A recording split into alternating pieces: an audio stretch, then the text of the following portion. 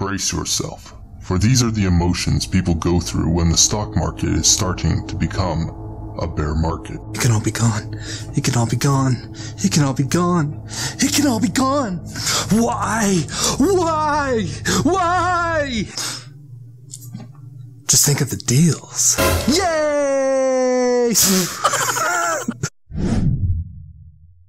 Well, that was a little over dramatic, but in all reality, the stock market is a roller coaster and it has its ups and it has its downs. Just like a roller coaster, it brings out the fear, the anxiety, the excitement, the anger. Okay, a roller coaster doesn't really bring you anger unless you were forced onto it as a little kid and you were feeling like you were going to fall out of the seat.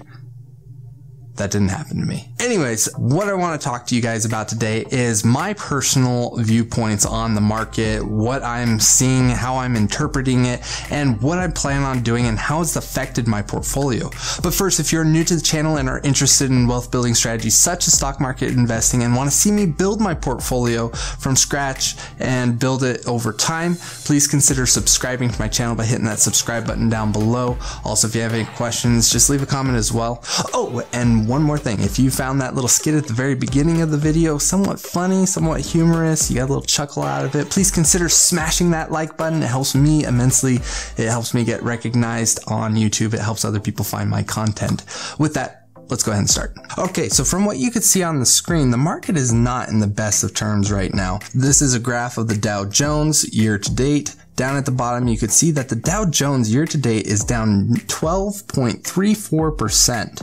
The S&P 500 is now on the screen. It is down 10.79%. Now the Nasdaq is on the screen and it is down 7% year to date. Now that we've seen the negative impact of all this bad information going around in the market, let's go ahead and talk about what this bad information is, why it's causing huge problems in a downward trend. Now, first, it all starts with a primer. What is this primer? So the primer is an illness. I'm not going to say the word but you know what it is. The reason why I don't want to say the word is because I've noticed a lot of larger YouTubers are not getting monetized because they say it or show it, which means that if I say it or show it, most likely my video won't be shown or be able to be found because YouTube won't push it. And, you know, I want people like you to be able to see my content. So, you know what I'm talking about? I'm just going to say illness. So with this illness, what is happening is governments are doing mandatory factory shutdowns in China.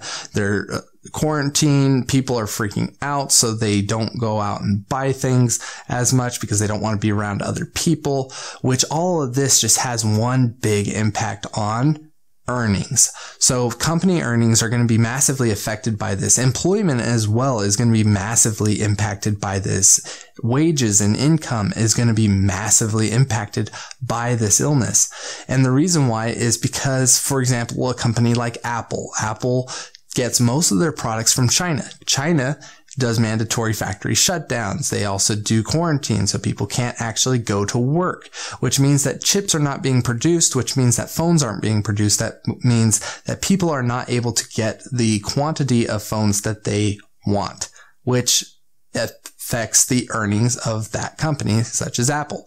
Now, it affects the people from going to work as well, which means that even if the product was there, people wouldn't be able to buy it because they don't have the money. Okay, so as you can see, this is just one massive domino effect that goes around and around and around. Also, here in Las Vegas, for example, they have conferences. Conferences are where people network, where people be, are able to find jobs to actually get employment and get income so that they can circulate that money back into the economy. They earn the income and then they go and spend it on things like Apple iPhones and, you know, all that kind of stuff. So an impact on economy which affects the earnings. So right now, what's going on is people are pricing in the impact of earnings right now, which is causing a major drop off in the stock market. And this leads us to our second thing, which is basically adding fuel to the fire. No pun intended, but it's oil.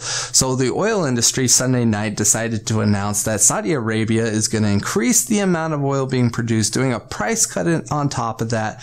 Russia wants to reduce the amount of market share that the US has. The US, of course, wants more market share. And all of this is going on during the worst possible time, which is because nobody wants to travel, which means airlines, cruise ships, taxi services, people going public places, all of this requires one product, which is oil. And if nobody's buying oil, or as much as they usually do, the oil industry is taking a huge hit on top of this huge debacle that's going on. And so because of this, everybody's freaking out, everybody's selling, which also led to the Dow Jones dropping 2,000 points on Monday, which was a record. So all of that was fun. Now, the third and final thing, which has nothing to do with the first two things, but kind of also does, which is in the US, it's an election year. Okay. It always has an impact on the economy because nobody knows how the next president or the current president will affect the economy in the next term. So all of that said, that is the negative effects on the stock market. Okay, so now it's time for the fun part, which is me going into my portfolio and the effects that this is having on it. Now, as I said, I want this video to be, I want this channel to be as transparent as possible when it comes to investing in the stock market. I want people to see from start to finish how it is that a portfolio can shift. Now, not saying that my portfolio is perfect by any means, but I do want you guys to be able to see what's going on. The changes, the impacts of different moves. I want everything to be transparent. Uh, and I hope you guys appreciate that. If you do, smash that like button. I mean, that always helps. Uh, so let's go ahead and look into this. So on the screen, you could see some of the history of my portfolio on specific days. So the first date I'm showing you is the first of the year. I had exactly $6,676.24 in my portfolio at that time. Now, it reached a high on February 19th. I hit my all time high of $11,988.23. I was up exactly 80%. Okay, now on March 10th, I was at $9,014, up 35% year to date. Now, right now, I'm showing you guys the positions that I have in my portfolio. The first one I'm going to show you guys is Carnival Cruise Line. It's my newer position. I just couldn't resist buying into it just because of the evaluation that was on it. And so I'm not upset about being down. I'm down about 19%, $258 total. And as I said, I'm not upset about it. It's, I'm still wanting to lower my cost basis. Now, the next position that I've just started is Facebook. All right, I have four shares in that. I'm down almost 11% and I'm down $85.82. Now we have the golden ticket, which is Tesla. I am up